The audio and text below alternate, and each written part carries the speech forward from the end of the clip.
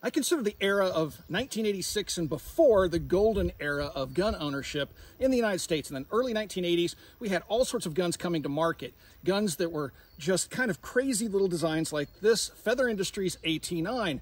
This gun has a tubular receiver made of aluminum, has a polymer lower, a collapsible stock, just a wire stock, and it has kind of the craziest controls. This is your magazine release. It almost looks like a detent for a side folding stock. It's not.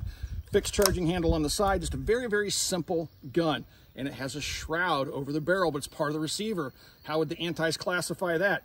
It used a modified Uzi magazine, and these things were just fun.